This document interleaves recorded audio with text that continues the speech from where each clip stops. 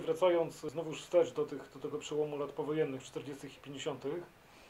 I wracając do pana stryja, w tym czasie, w którym pan ym, jeszcze przed odbyciem służby wojskowej zaczął pracę na EKD, to stryj jeszcze tam również pracował. Akurat na przykładzie pana Tadeusza Baniewicza, gdyby mamy też takie, takie, takie są informacje dostępne, że jeszcze, no mimo że spółka, znaczy elektryczne koleje dojazdowe po zakończeniu okupacji została przejęta mm, w tymczasowy, przymusowy tak zwany zarząd Ministerstwa. Komunikacji, ale no, ponieważ nie było ostatecznych decyzji jeszcze, czy faktycznie no, formalnie była znacjonalizowana, ale jeszcze cała struktura nie została gdyby, wchłonięta przez PKP, to rektor Tadeusz Baniewicz jeszcze Był, przez kilka lat pozostał dyrektorem, no Tak. do momentu aż, no po pierwsze akurat to się zbiegło też, tak. chociaż też z przyspieszonym jego przejściem na emeryturę, ale jeszcze korzystano z jego Doświadczeń. doświadczeń. Chociaż w okresie przejęcia już całkowitego tego, tego 50-51 roku, no to też jakoś nie, nie, niezbyt elegancko mm, ówczesne kierownictwo się z nim obeszło. I czy również dotyczyło to, również czy stryj wtedy też jeszcze pracował, czy już gdzieś tam też z, no, znikał z pola widzenia? Wiem, że przeszedł do Ministerstwa Komunikacji, był doradcą gdzieś, Aha, czyli już gdzieś, gdzieś wyżej. tak, wyżej, wyżej. Jakiś zakup wagonów załatwiał w Szwecji, elektryczne elektrowozy, pierwsze, które się pokazały. Ale to dla PKP takiego, tego, tego szeroko rozumianego? Czy dla, dla WKD? Nie, nie wiem dokładnie, w każdym razie pierwsze elektrowozy szwedzkie to potraktował ze Szwedami styl. Mhm. Dalej chyba, nawet nie wiem kiedy on przeszedł na emeryturę. Prawdopodobnie o pierwszych elektrowozach na PKP. Bo takie Mhm. jeździły w warszawskim wyźle kolejowym. Oznaczenie chyba E01. A jeżeli chodzi o mm, pana ojca, to kiedy on zakończył pracę w EKD? Kiedy tam to się wszystko... Jak skończył 60 lat, a skończył 1895 roku urodzenia. Chyba Miał 83 lata. No ja w tej chwili mam 85. Nie, przepraszam, kłamie, 95. No to prawie tyle, ile nasza. Bo pan jest rocznik 28, a kolejka 27.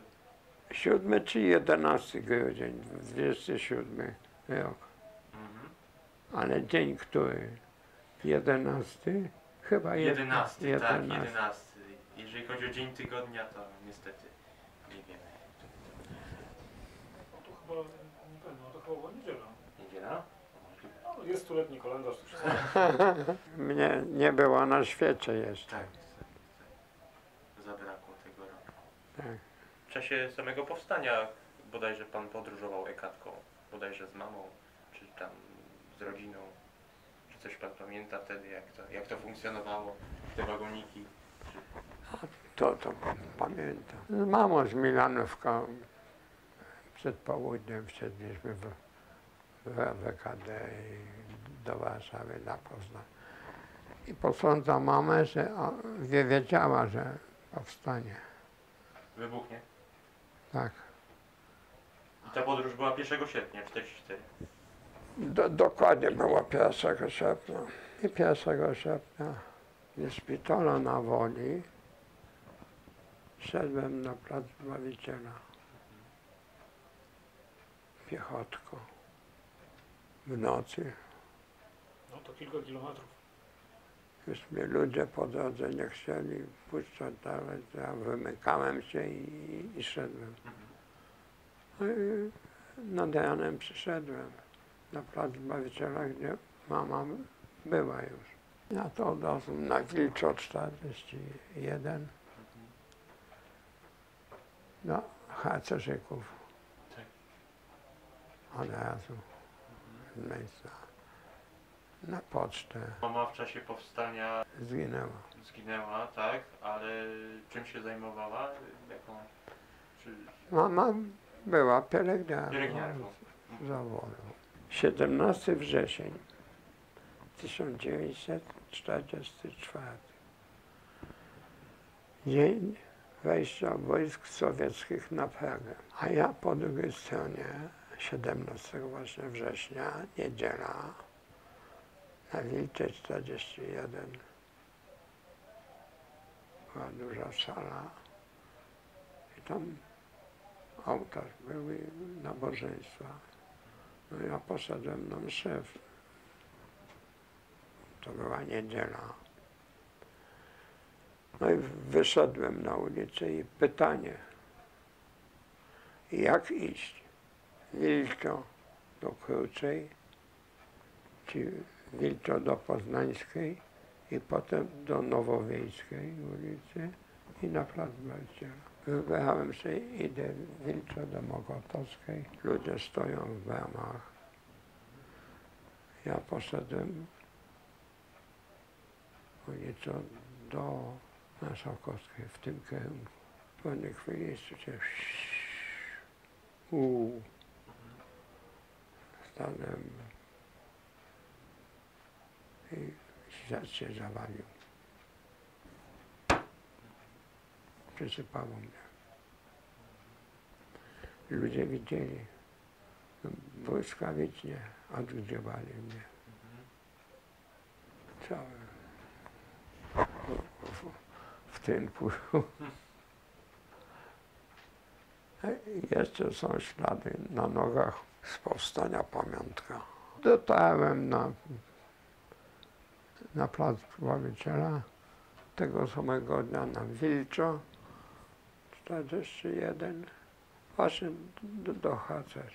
A potem tylko to tup, tup, tup, tup, tu, tu poczta, tu, tu liścik. Na Lwowskiej 4 na pierwszym piętrze mieszkała rodzina generała Berlinga.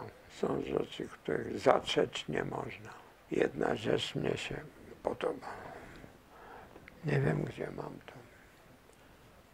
Wiersz taki o powstańcach i o chłopcach z lasu. Autorka na koniec pyta się, po co to wszystko dla was? Odpowiedź krótka, bo tak trzeba było. I w tym się zamyka wszystko. W tym, bo tak trzeba było. I kiedyś u nas w zabraniu taka, ja przytoczyłem to, cisza, nikt nie odpowiedział. Nikt się nie zapytał, jak to, bo tak trzeba było. A w tym się ile kryje w człowieku. Wychowanie, szkoła, kościół i tak dalej, i tak dalej. Ukształtowanie charakteru i wnętrza. Całe życie. Samo życie. Ale cóż, tak trzeba było i Nie żałuje pan niczego. Tych- coś, coś ty.